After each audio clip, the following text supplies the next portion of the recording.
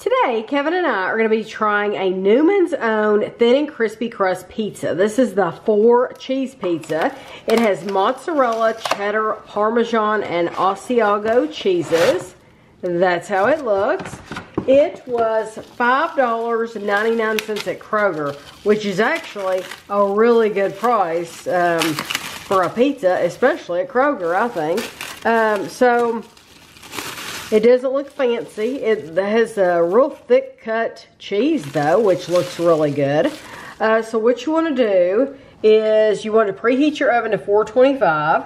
You want to place the pizza directly on the rack. This one does not have cardboard underneath it. So you're going to have to get a cutting board or something out to cut it on.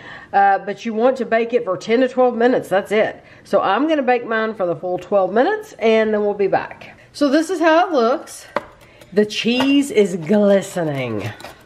But I think it'll help it that it has that, that thick cut cheese. I think it'll be making a nice texture because uh, most of the pizzas we've had don't uh, aren't that thick cut. It looked like it was really easy for you to cut too. Mm, yeah. Okay, this says a third of the pizza, 151 grams, is 390 calories. Uh, these are made in Westport, Connecticut. It says keep pizza frozen prior to baking. Do not eat pizza without cooking. Remove pizza from box, overwrap, and cardboard. Pizza is done when cheese is completely melted and edges are golden brown. Let pizza stand three to five minutes before serving. Refrigerate or discard any unused portion. It has 100% real cheese. Um, okay, here we go.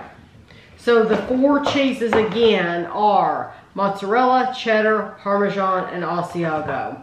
Um, I noticed something, it seemed like it had, where are the, oh, here we go. It seemed like it had um, something else in here.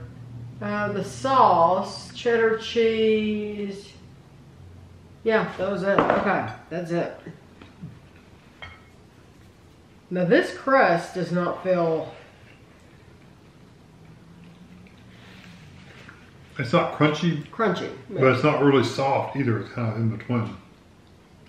It has a crunch to it, but it's not as doughy as like a pan or something like that.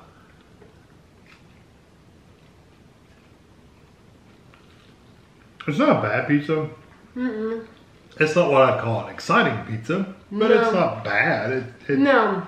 Just a regular cheese pizza. yeah, it you do taste the cheese. Mm-hmm.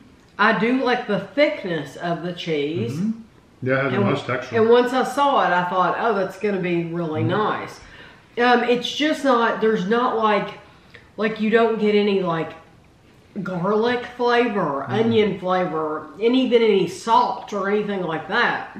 Mm-hmm. So, and even and like that comes down to the sauce. The sauce is just kind of yeah a bland, not bland.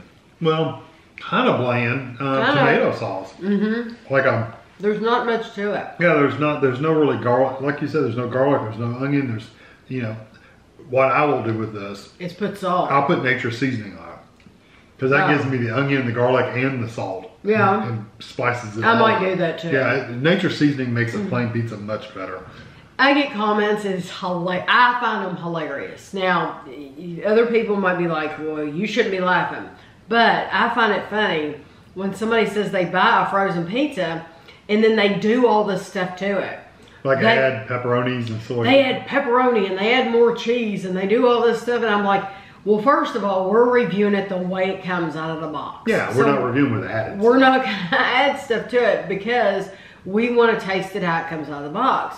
But I responded to one person, I said, I go ahead and buy my favorite pizza so I don't have to add all yeah. that. Unless your favorite pizza doesn't have that brand, that that stuff. Yeah, but we we buy or we consistently buy the same brand and the same type of pizza so that we don't have to add a bunch yeah. of stuff to it. If you're to me, if you're having to add a bunch of stuff to it, then you're buying the wrong pizza. Yeah. Is what I'm thinking. Well, so, I'm just thinking there are some cases like if you bought like we have a cheese pizza we absolutely love, but if you wanted like a pepper kind of flavor to it, you could add uh, banana peppers You or something like that to it Oh, and jazz it up. I agree. but but That's not different. not pepperoni because they sell pepperoni. You know, Right. why add pepperoni when Right, they sell pepperoni? people are saying they add more cheese, they add more pepperoni and stuff No. like that. No, I'm thinking, if you're adding basic ingredients like that, then you need to try another pizza. yeah, try something else with those things already on. it. Yeah, now banana peppers is different because you don't see that on pizza. same thing with Uh, any veggies, honestly. Peppers and onions.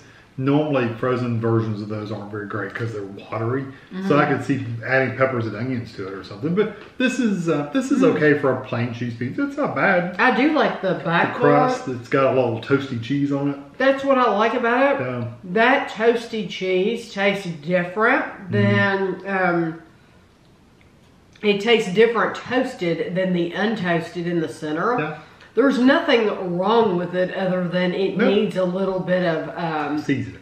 seasoning. Yeah. Because honestly, the cheese is good. It is Mm-hmm. thick. There's nothing wrong with the crust. For six dollars, I think you're getting a good deal. The calories aren't bad at all. Yeah. I just think, like you said, nature seasoning, and it'll be perfect. Yeah, I think so too. So I hope you enjoyed the video, and thanks for watching.